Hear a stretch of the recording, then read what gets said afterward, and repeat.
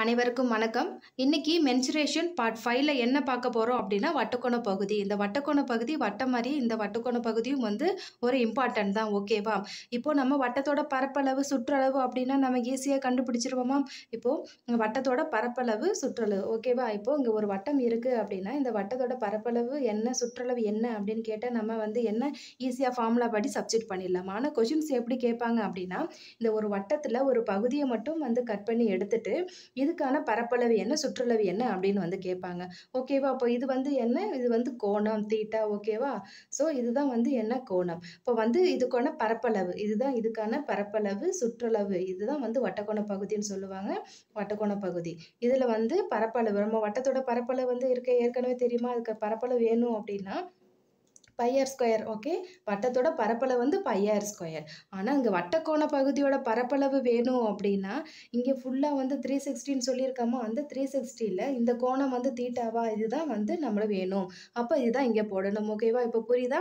வட்டத்தோட பரப்பளவோட நம்ம என்ன வந்து மல்டிப்ளை பண்ணணும் அப்படின்னா இந்த த்ரீ சிக்ஸ்டியில் வந்து இந்த theta okay theta by three sixty அப்போது வட்டக்கோண பகுதியின் பரப்பளவு என்ன வரும்? Pi r square into theta by three sixty ஓகேவா சரி ஓகே இப்போ இது வந்து இங்கே வந்து என்ன? வட்ட வில் அப்படின்னு சொல்லுவாங்க. நல்லா பாருங்கள் இதை மட்டும் வந்து வட்ட வில் அப்படின்னு சொல்லுவாங்க. ஆர்க் லென்த் அப்போது வட்ட வில்லின் நீளம் கண்டுபிடிக்கிறதுக்கான ஃபார்முலாவும் இருக்குது ஓகே வட்ட வில்லின் நீளம் கண்டுபிடிக்கிறதுக்கான formula L is equal to இது வந்து ஆர்க் லென்த்துங்கிறதுனால நம்ம எல் அப்படின்னு வச்சுக்கிறோம்.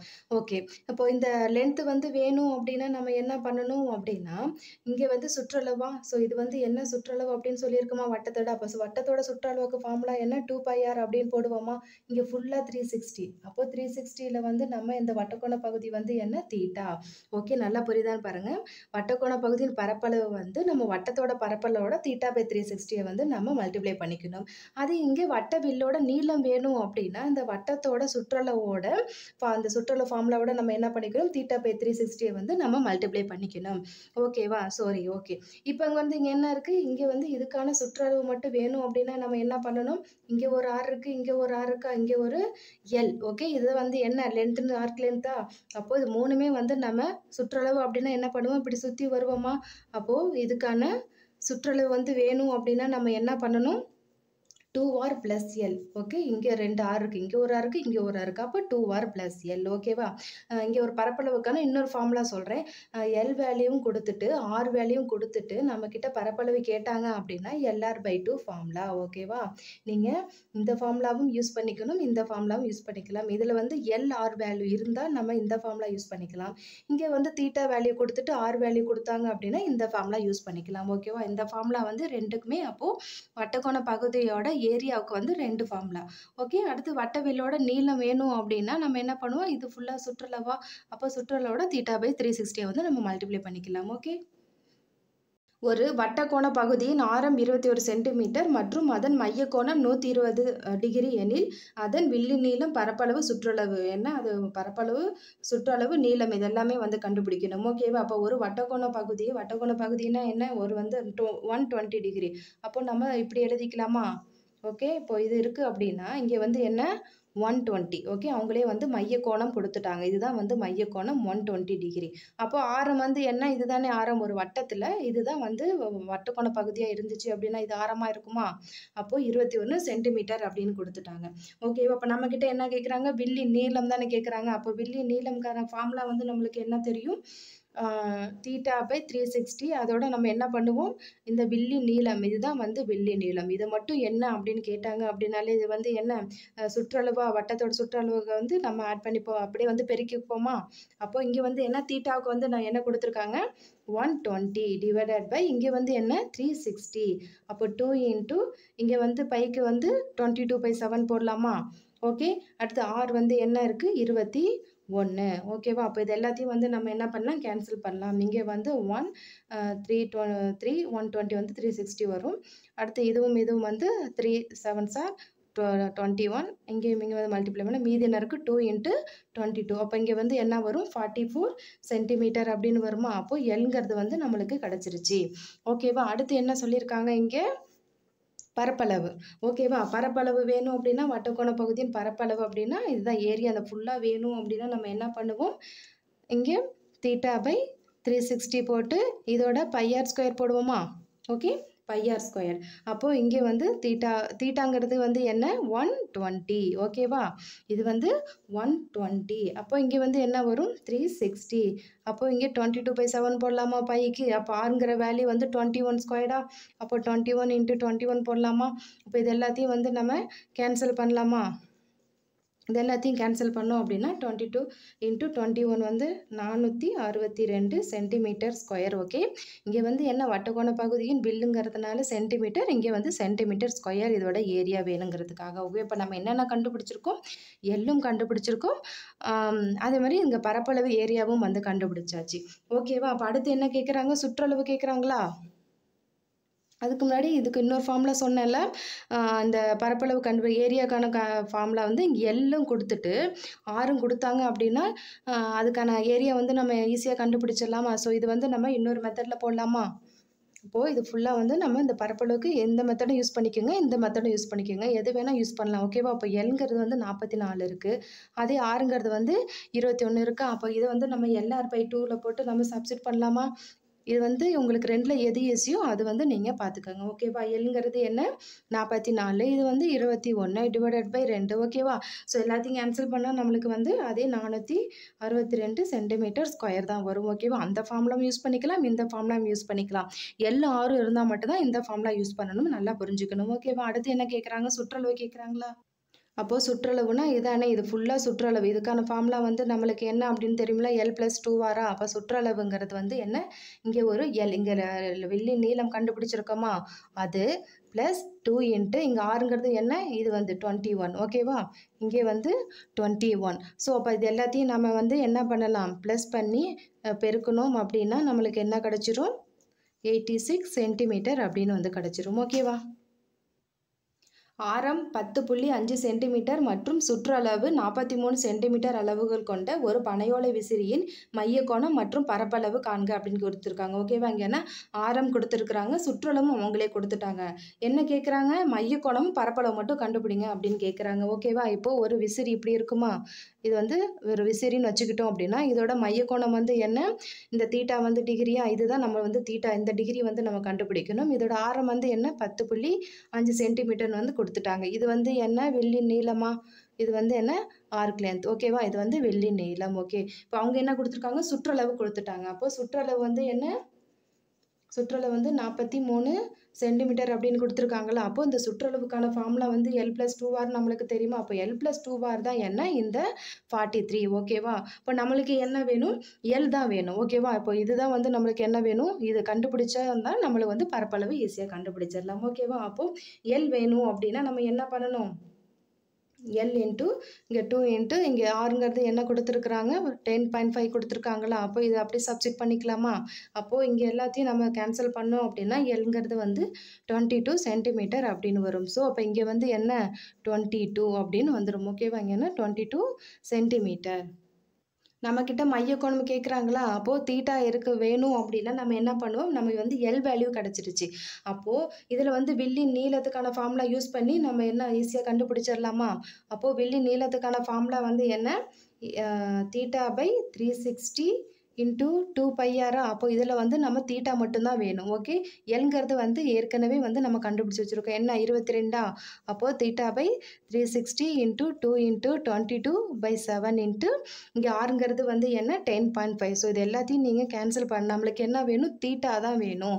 ஸோ இது எல்லாத்தையுமே வந்து நீங்கள் கேன்சல் பண்ணி பாருங்கள் தீட்டாவோட வேல்யூ வந்து என்னவா வரும் அப்படின்னா ஒன் டுவெண்ட்டி டிகிரி அப்படின்னு வரும் ஓகேவா அப்போது இங்கே வந்து நம்ம மைய கோணம் வந்து ஒன் டுவெண்ட்டி டிகிரி அப்படின்னு கண்டுபிடிச்சாச்சு. அடுத்து என்ன கேட்குறாங்க பரப்பளவு கேட்குறாங்களா ஸோ உங்கள் இங்கே போடுறேன் பாருங்கள் பரப்பளவு வேணும் அப்படின்னு நம்மக்கிட்ட என்ன இருக்குது எல்லும் இருக்குது ஆறும் இருக்குது அப்போ நம்ம வந்து எந்த ஃபார்முலா யூஸ் பண்ணலாம்? பரப்பளவுக்கான formula L R by two use பண்ணலாமா? எல்ஆர் பை டூ ஏன்னா எல்ங்கிறது யா- எல்லும் ஆறும் இருந்துச்சுனாலே நம்ம டேரெக்டாக இந்த ஃபார்ம்லாவே நம்ம யூஸ் பண்ணிக்கலாம். ஓகேவா அப்போ இங்கே எல்ங்கிறது என்ன? டுவெண்ட்டி டூவா ஆறுங்கிறது ten point five divided by two so இது எல்லாத்தையும் நம்ம வந்து கேன்சல் பண்ணோம் அப்படின்னா ஆன்சர் வந்து என்ன வரும்? நூற்றி பதினஞ்சு புள்ளி அஞ்சு சென்டிமீட்டர் ஸ்கொயர்டு ஓகேவா முப்பத்தஞ்சு சென்டிமீட்டர் ஆரமுள்ள வட்ட வடிவிலான ஜிம்னாஸ்டிக் வளையமானது அஞ்சு சம அளவுள்ள விற்களாக பிரிக்கப்பட்டு வெவ்வேறு நிறங்களில் வண்ணமிடப்பட்டுள்ளது. எனில் ஒவ்வொரு வட்டவில்லின் நீளம் என்ன அப்படின்னு கேட்குறாங்களா இப்போது இங்கே என்ன கொடுத்துருக்காங்க? முப்பத்தஞ்சு சென்டிமீட்டர்னு சொல்லிட்டு ஆரம்னு அவங்களே கொடுத்துட்டாங்க. ஓகேவா ஆரம் வந்து முப்பத்தஞ்சு சென்டிமீட்டர் அப்படின்னு சொல்லி கொடுத்துட்டு அஞ்சு சம அளவுள்ள வி- விற்கல். ஓகேவா அப்போ ஒரு வட்ட வடிவிலான ஜிம்னாஸ்டிக் வளையம். இது வந்து ஒரு வட்ட வடிவிலான ஜிம்னாஸ்டிக் வளையம் வச்சுக்கிட்டோம் அப்படின்னா இதை வந்து எப்படி பிரிக்கிறாங்க? அஞ்சு சமமாக பிரிக்கிறாங்க. ஓகேவா one two three four five ஓகேவா அந்த அஞ்சு சம அளவுகளாக வந்து பிரிச்சுட்டு இது ஒவ்வொன்றுக்கும் ஒவ்வொரு கலர் வந்து கொடுத்துட்டு அதோட வட்ட வில்லோட நீளம் கேட்குறாங்க அப்போ ஒவ்வொரு வட்ட வில்லோட நீளம் என்ன அப்படின்னு கேட்குறாங்க ஓகேவா ஸோ இதில் வந்து என்ன தீட்டா இல்லை அதனால் நம்மளுக்கு வந்து வேற வேறு வேற ஒரு ஃபார்முலா இருக்குது அதை நம்ம யூஸ் பண்ணிக்கலாம். ஓகே நீளம் வட்டவிலோட நீளம் வேணும் அப்படின்னா இது என்ன நம்ம வட்டத்தோட சுற்றளவா? அப்போ சுற்றளவுங்கிறது என்ன? டூ பையாரா வட்டத்தோட சுற்றளவுக்கான ஃபார்முலா வந்து டூ பையாரா அப்போது இங்கே எத்தனை பாகமாக பிரிச்சிருக்காங்களோ? One two three four five அப்போ அத்தனை பாகம் தான் என் போட்டுக்கணும். அப்போ இங்கே வந்து என்ன? இது வந்து டூ பையார்னு போட்டு இங்கே என் வந்து இங்கே என்னன்னா எத்தனை பாகங்களாக பிரிச்சிருக்கோமோ அத்தனை நம்பர் தான் இங்கே போடணும். ஓகேவா இங்கே வெறும் வந்து தீட்டாலாம் எதுவும் கொடுக்காம இந்த மாதிரி கொடுத்தாங்க. அஞ்சு சம பாகம் ஆறு பாகமாக பிரிச்சுட்டு இதோட நீளம் கேட்டாங்க அப்படின்னா நம்ம இந்த ஃபார்மில் தான் நம்ம யூஸ் பண்ணணும். ஓகேவா இந்த ஃபார்மில் நல்லா நோட் பண்ணி வச்சுக்கணும். அப்போ இங்கே வந்து நம்ம டூ போட்டு இங்கே வந்து என்ன பைங்கிறது வந்து வேணால் அப்படியே வச்சுக்கலாம். இல்லாட்டி டுவெண்ட்டி டூ பை செவன் அப்படின்னு வேணால் போட்டுக்கலாம். ஓகேவா இப்போ ஆறுங்கிறது என்ன? தேர்ட்டி ஃபைவா அப்போது இங்கே வந்து எண்கிறது என்ன? ஃபைவ் ஓகே இங்கே எண்கிறது வந்து ஃபைவ் அப்போது இங்கே எல்லாத்தையும் கேன்சல் பண்ணோம் அப்படின்னா நம்மளுக்கு என்ன வரும்? சாரி இங்கே வந்து seven seven five sir thirty ஃபைவா அப்போது செவன் இன்ட்டு டூ பைன்னு வருமா? இங்கே வந்து ஃபோர்டீன் பை சென்டிமீட்டர் அப்படின்னு வரும் ஓகே ஏழு புள்ளி அஞ்சு சென்டிமீட்டர் ஆரமுள்ள ஒரு ஸ்பின்னரானது ஆறு சம அளவுள்ள வட்டக்கோண பகுதியாக பிரிக்கப்பட்டுள்ளது எனில் வட்டக்கோண பகுதியின் பரப்பளவு என்ன அப்படின்னு கேட்குறாங்களா இப்போ ஒரு ஸ்பின்னர் இருக்குது ஓகேவா அந்த ஸ்பின்னர் எங்கே வட்ட வடிவமாக இருக்கா? அது ஸ்பின்னர் வந்து எது எவ்வளோ? ஆறு சமபாகமாக பிரிக்கிறாங்க ஓகேவா அப்போது ஆறு சம ஆறு சமபாகமாக வந்து பிரிக்கிறாங்க சமமாக வந்து பிரிக்கிறாங்க ஓகேவா இங்கே ஆறு இருக்கா? One two three four five six ஓகேவா ஆறு சம பாகங்களாக வந்து பிரிச்சுட்டு அதுக்கான பரப்பளவு வந்து என்ன அப்படின்னு வந்து கேட்குறாங்க ஓகேவா தீட்டா கொஷினில் கொடுத்தாங்க அப்படின்னா நீங்கள் தீட்டா ஃபார்ம்லாம் யூஸ் பண்ணிக்கலாம். இந்த மாதிரி தீட்டா கொடுக்காம இந்த மாதிரி சம பாகமாக பிரிக்கிறாங்க அப்படின்னா நம்ம போன சம் பார்த்தோம்ல அந்த சுற்றளவுக்கான ஃபார்மில் எத்தனை போட்டு அந்த நம்பர் வந்து போட்டோமோ அதே மாதிரி இங்கே பரப்பளவு கேட்குறாங்களா அப்போது பரப்பளவு வட்டத்துக்கான பரப்பளவு ஃபார்மில் வந்து பையார் ஸ்கொயர்டா இப்போ எத்தனை பாகங்களை பிரிக்கிறாங்க? சிக்ஸ் பாகமாக பிரிக்கிறாங்க. அப்போ என் வந்து போட்டுக்கணும். இந்த ஃபார்முலாவும் நீங்கள் நோட் பண்ணி வச்சுக்கணும். ஓகேவா சுற்றளவு கேட்டால் two pi r divide by N அதே வந்து பரப்பளவு கேட்டால் pi r square divide by N ஓகேவா இப்போ என்கிறது என்ன இந்த வேல்யூ தான். ஓகேவா இப்போது இங்கே என்ன? ஒன் பை சிக்ஸ்ன்னு போடலாமா? இங்கே பைக்கு வந்து டுவெண்ட்டி டூ பை செவன் ஆறுங்கிறது என்ன கொடுத்துருக்காங்க? Seven point five into seven point five ஓகேவா அது எல்லாத்தையும் நம்ம கேன்சல் பண்ணோம் அப்படின்னா twenty nine point four six centimetre square அப்படின்னு வரும். ஓகேவா புரியுதா? ஏழு சென்டிமீட்டர் விட்டமுள்ள நான்கு பதக்கங்களை வைக்கும்போது இடையில் அடைப்படும் பகுதியின் பரப்பளவு என்ன அப்படின்னு கேட்குறாங்களா இப்போ இங்கே என்ன? ஏழு சென்டிமீட்டர் விட்டமுள்ள நான்கு பதக்கம். அப்போது நான்கு பதக்கம் அப்படின்னா ஒரு நாலு சர்க்கிள் போட்டுக்கலாமா? ஒரு நாலு வட்டத்தை வந்து போட்டுக்கலாம் ஓகே? ஒரு நாலு வட்டத்தை போட்டு இதுக்கான அடைப்படும் பகுதி ஓகே? இதுக்கான பகுதி தான் வந்து என்ன? அதுக்கான பரப்பளவு தான் என்ன அப்படின்னு கேட்குறாங்களா அப்போது இங்கேருந்து இந்த மையப்புள்ளியிலேருந்து இந்த மையப்புள்ளி எல்லாம் ஜாயின் பண்ண ஒரு ஸ்கொயர் ஆகிடுமா ஓகே இப்போ இது வந்து ஒரு ஸ்கொயர்டாக இருக்குது சரி இப்போ இங்கே ஏழு சென்டிமீட்டர் விட்டோம்னா நான்கு பதக்கங்கள் வந்து வச்சாச்சு. இதில் அடைப்படும் பகுதியோட பரப்பளவு மட்டும் கேட்குறாங்க அப்போ இங்கே என்ன ஏழு சென்டிமீட்டர் விட்டம். அப்போது இதிலேருந்து இது வரைக்கும் வந்து என்ன? ஏழு சென்டிமீட்டர் அப்போ இதிலேருந்து இது வரைக்கும் த்ரீ பாயிண்ட் ஃபைவா அப்போ இதிலேருந்து இது வரைக்கும் வந்து என்ன? ஒரு த்ரீ பாயிண்ட் ஃபைவ் தான் இருக்கும். அப்போது சதுரத்தோட பக்கம் வந்து என்ன? செவனாக மாறிடும் ஓகேவா இப்போ இதுக்கான பரப்பளவு மட்டும் வேணும் அப்படின்னா நம்ம என்ன பண்ணணும்? என்ன தனியாக வேணால் நீ போட்டு காமிக்கிறேன் பாருங்கள் இப்போ இதுக்கான பரப்பளவு மட்டும் வேணும்னா நம்ம இது வந்து ஒரு கால்வட்டம் அப்படின்னு சொல்லுவோமா? இந்த வட்டத்தில் இது ஒரு கால்வட்டம். அப்போது நாலு கால்வட்டம் சேர்ந்தது ஒரு வட்டமா? அப்போது நம்ம வந்து என்ன பண்ணணும்? இந்த நிழலிட்ட பகுதியோட பரப்பளவு மட்டும் வேணும் அப்படின்னா நம்ம என்ன பண்ணணும் அப்படின்னா இந்த சதுரத்தோட பரப்பளவு ஓகே சதுரத்தோட பரப்பளவில் இருந்து அந்த நான்கு கால்வட்டத்தோட பரப்பளவு வந்து நம்ம மைனஸ் பண்ணிடணும் ஓகே நான்கு கால்வட்டத்தோட பரப்பளவுன்னு போட்டால் சரி அப்படி இல்லைன்னா ஒரு வட்டத்தோட பரப்பளவு போட. நாலு வட்டம் சேர்ந்தது ஒரு வட்டமாயிரலாம் அப்படி இல்லைன்னா இதில் போட்டிங்க அப்படின்னா இங்கே ஒரு கால்வட்டம் இங்கே ஒரு கால்வட்டம் அப்போ நாலு கால்வட்டத்தோட நம்ம நாலை வந்து நம்ம வந்து மல்டிப்ளை பண்ணிக்கலாம். ஓகேவா அப்போது சதுரத்தோட பரப்பளவு வந்து என்னன்னு தெரியுமா? ஏ ஸ்கொயர்டா அப்போ நாலு இன்ட்டு கால்வட்டத்தோட பரப்பளவு வந்து பையர் ஸ்கொயர் பை ஃபோரா அப்போ இந்த ஃபோர் இந்த ஃபோர் கேன்சல் ஒரு வட்டத்துக்கான பரப்பளவு வந்து கிடச்சிரும். ஓகே இப்போ ப ஏங்கிறது என்ன பக்கமாக அந்த பக்கத்துக்கானது வந்து என்ன ஏழுன்னு நம்ம சொல்லியிருக்கோமா? அப்போ ஏழு இன்ட்டு ஏழு. மைனஸ் இங்கே பை ஆர் ஸ்கொயர் பைக்கு வந்து என்ன? டுவெண்ட்டி டூ பை செவன் போடலாம் ஆறுங்கிறது என்ன? இதுலேருந்து இது வரைக்கும் ஏழு அப்படின்னா ஆறுங்கிறது என்ன? த்ரீ பாயிண்ட் ஃபைவா அப்போ இங்கே ஒரு த்ரீ பாயிண்ட் ஃபைவ் இருக்குது இங்கே ஒரு த்ரீ பாயிண்ட் ஃபைவ் இருக்குது ஸோ இது எல்லாத்தையும் நம்ம கேன்சல் பண்ணோம் அப்படின்னா ஆன்சர் வந்து என்ன வரும்? தேர்ட்டி எயிட் பாயிண்ட் ஃபைவ் இதுக்கான ஆன்சர் வந்து thirty eight point five so இப்போ ஆன்சர் வந்து ten point five centimetre squared ஓகேவா okay eighth new book first time பயிற்சி ரெண்டு புள்ளி ஒன்றில் இருக்க சம் எல்லாமே நல்லா ப்ராக்டிஸ் பண்ணி பாருங்கள் ஓகேவா இந்த வீடியோ உங்களுக்கு யூஸ்ஃபுல்லாக இருந்தால் லைக் பண்ணுங்கள் உங்கள் ஃப்ரெண்ட்ஸ் எல்லாத்துக்கும் ஷேர் பண்ணுங்கள் தேங்க்ஸ் ஃபார் வாட்சிங்